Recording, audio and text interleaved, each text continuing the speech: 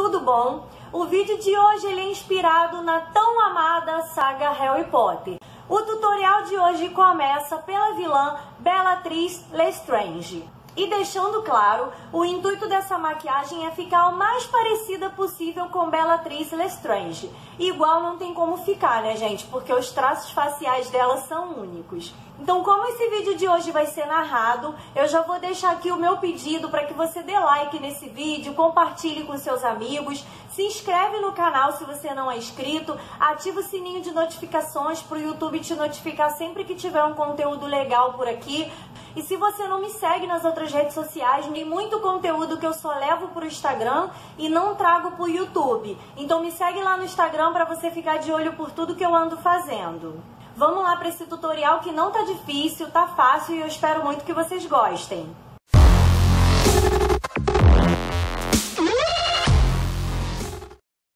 Com a pele já limpa, hidratada e aplicado o primer, eu começo com a base líquida Soft na cor 04 bege claro da Dylos. Aplico por todo o meu rosto utilizando um pincel kabuki e como ela tem olheiras, eu não vou fazer aplicação de corretivo nessa maquiagem. Com a paleta de pó de 9 tons da Ruby Rose, eu utilizo o primeiro tom. Aplico por cima de toda a base para fazer a selagem. Com a paleta Day by Day L758D da Luisance, eu utilizo o pigmento preto para corrigir as minhas sobrancelhas. Com o pomate bronzer da Clean Color, eu começo a contornar o meu rosto. Contorno as maçãs acentuando bem e puxando para o queixo. Também aproveito para contornar o meu maxilar e o meu nariz.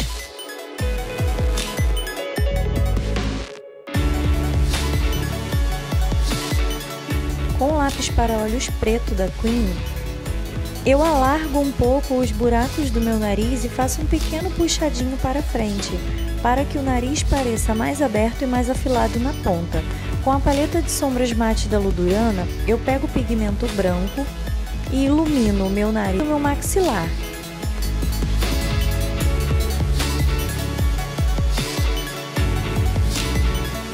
Volto com o lápis para olhos preto, aplico abaixo da minha linha d'água e também na parte de cima dos meus olhos, fazendo um delineado.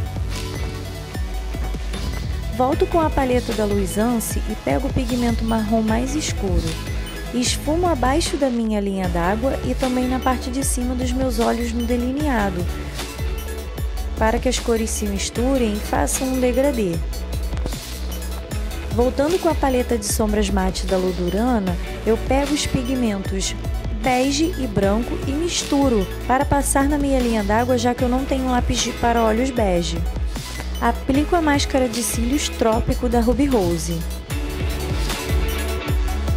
Voltando com a paleta da Luisance, eu pego um tom de marrom médio e faço as olheiras com bastante delicadeza para que não fiquem muito fortes. Com o batom na cor marsala da Tracta, eu aplico na minha boca e retiro o excesso com o papel para dar um ar mais natural. Utilizo a caneta delineadora da Da Pop para fazer o buraco no dente que ela tem. Com a tinta corporal na cor preta da Color Make, eu venho fazendo o cordão.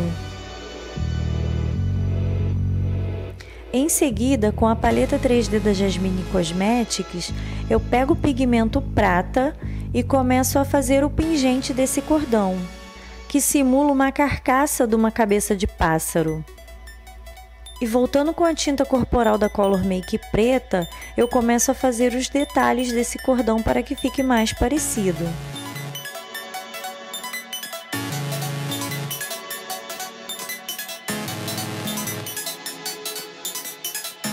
Em seguida, eu tento separar no meu cabelo uma mecha que não tenha roxo para colocar na frente para ser aquela franja que a Bellatriz usa no rosto. Eu tenho uma peruca aqui em casa que foi de uma fantasia de Amy House antiga que eu vou tentar dar uma improvisada para ver se eu consigo deixar parecido com o cabelo dela. Com uma tinta corporal branca da Color Make eu faço a mecha branca que ela tem no canto. Coloco meu casaco preto, pois ela utiliza um vestido de mangas compridas preto, pego a minha varinha e está pronta a minha Bellatrix Lestrange. Esse é o resultado final, espero que vocês tenham gostado e até a próxima!